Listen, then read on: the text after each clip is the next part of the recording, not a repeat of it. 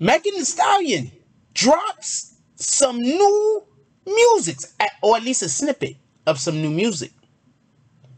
And it sounds suspiciously like a Tory Lanez diss. Me and the Notification Gang would like to invite everybody to come join us Monday through Thursday, 9.20 to 10 o'clock for morning coffee, where we discuss the events of the prior day and also just talk mess about stuff. See you then.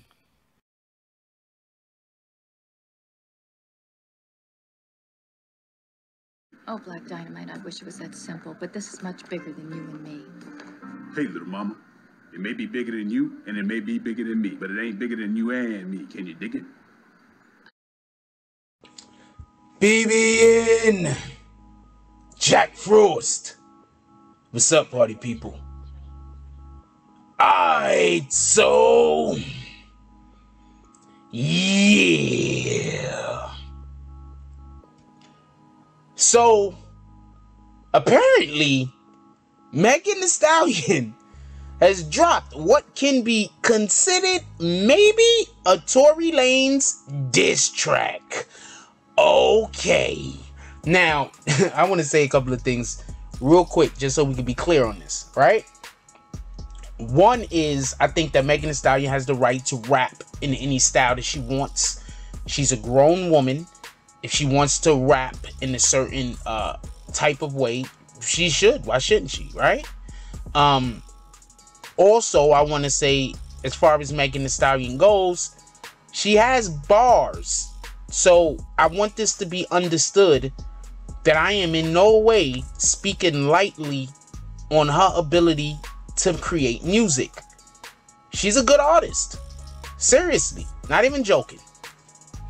Nice voice uh, for rap. And she has her own type of delivery. It might just be a Houston delivery, I think, right? I'm not in Houston, right? But I, I would assume that that's a Houston delivery that she's given. I'm not in Houston, but you know, anyway.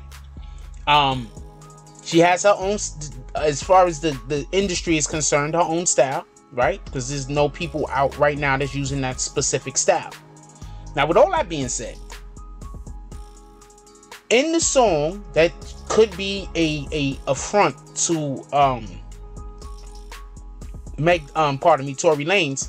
I just want to point out a couple of lines that she says that sometimes it's just be quiet, don't talk. Okay, so she said, just so we could be clear, that she was never dating Tory Lanez. That's what she said when she did her little her her very important. I don't I don't want to minimize anything, so pardon me. But her very important um IG live that she spoke and she spoke about what happened. And she said her and Tory Lanez were never dating. Well, in this rap that she put out, she says she never puts titles on anything. Right? So basically Tory Lanez could have been telling the truth. He could have been it could have been a situation where he was banging the both of them, but you know, because of her and who she is and how she deems sex and relationships, she doesn't put titles on anything. So she wasn't dating Tory Lanez, even if she was having sex with him. I'm just saying, I'm not I'm not playing with words. I think they're playing with words, so we could be clear. Also, um, I think and this is just my opinion. I could be wrong. Mama, I'm all the way single. Uh, I, I, I just, I get at this point, it's something God intends. It's, it's just no, God is just like Jack Frost. This is what it is, and you just got to live with it. So I am in no way trying to pretend like I know more about relationships than anyone else because obviously I know the least. But I am going to say this, and this is just an assumption because I have been in relationships previously. So this is just an assumption. The argument that was had was Tory Lanez was busy having sex with the two women.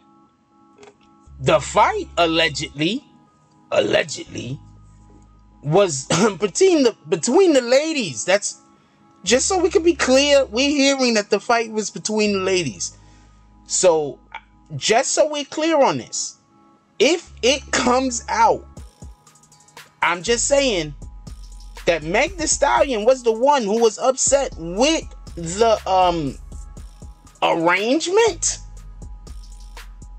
Then I want to know how people feel about this music that she's making because Meg the Stallion's music is just so we could be clear seems to be 100% predicated on women should just go and sleep with whoever and do or whoever they want to do.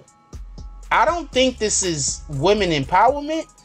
I think women empowerment would be more like, you know, go and get a make a family, get kids, go be a professor, go be all you could be, live out your potential. We're all smart, we're all intelligent, we're all beautiful. Don't let it go to waste. Have strong people in your circle who can help push and motivate you. Don't hate on each other. Promote each other.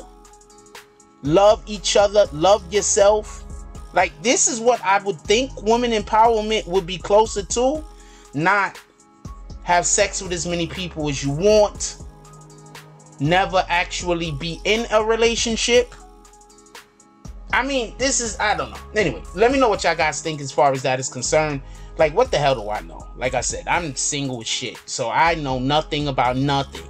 Okay? Um, anyway, so this this this rap that she kicked, it's kind of it's kind of uh, people gonna like it. You know what I'm saying? At the end of the day, Megan Thee Stallion can rap. This is I don't know. She writes her own stuff or somebody else. I don't got the slightest idea, but she can rap. Even if somebody else writes her own stuff, she could perform. Just so everybody could be clear, there's some people who could write the shit out of raps and can't perform, worth nothing. And then there's other people who could perform like crazy, but they're just not good rappers. So other people write their music.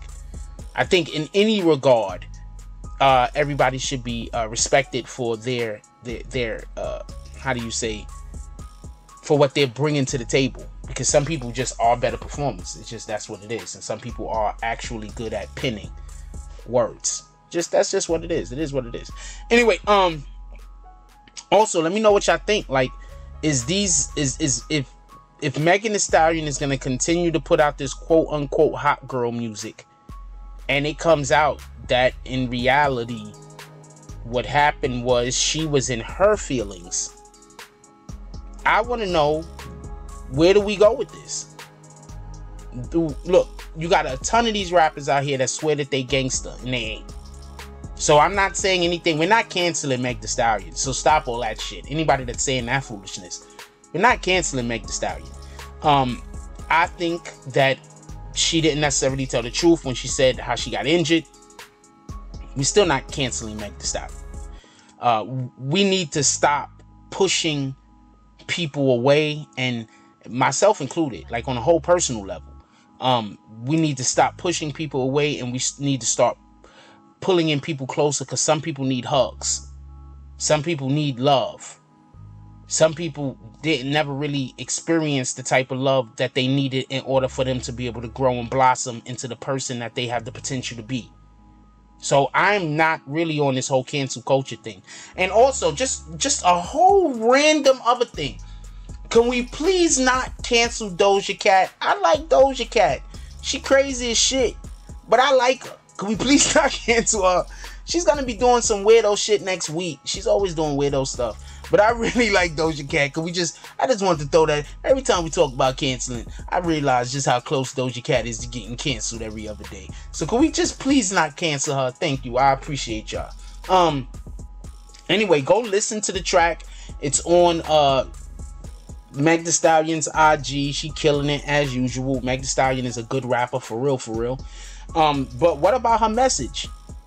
If her actions allegedly, allegedly got her shot in the foot, should she then also be trying to encourage other people to do these same actions? Also, just might I add,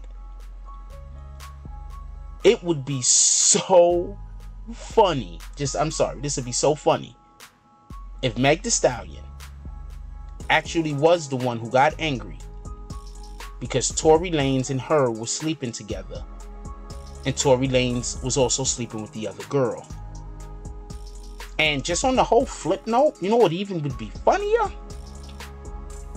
If Tory Lanez was sleeping with the other girl first, and Meg the Stallion just came to ruin their fucking relationship. Like, comment, subscribe. Join the notification gang. Hashtag Bronx Bombers. Let's get it. I love y'all. Take care of each other. Hug the kids for me. I haven't forgotten about you. And that's all I got on this one. I'm out. If you like this video, please hit the like and subscribe button. If you would like to help dictate the direction that this channel takes, please leave a comment. All comments are appreciated, whether positive or negative. Thank you very much and enjoy your day.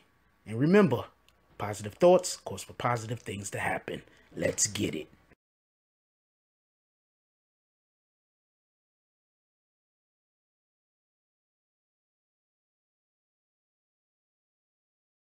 Oh, Black Dynamite, I wish it was that simple, but this is much bigger than you and me. Hey, little mama. It may be bigger than you, and it may be bigger than me, but it ain't bigger than you and me. Can you dig it?